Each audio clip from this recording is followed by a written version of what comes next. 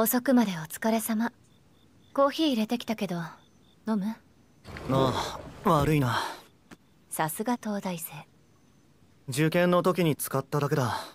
一度読んだらだいたい覚えた。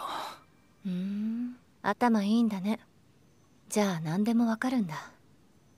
勉強だったらな。それ以外は俺だってわからないこともある女心とか？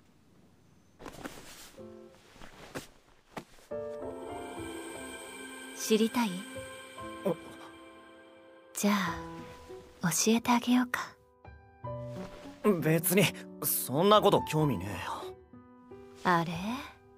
もしかしてこっちの方が興味あった？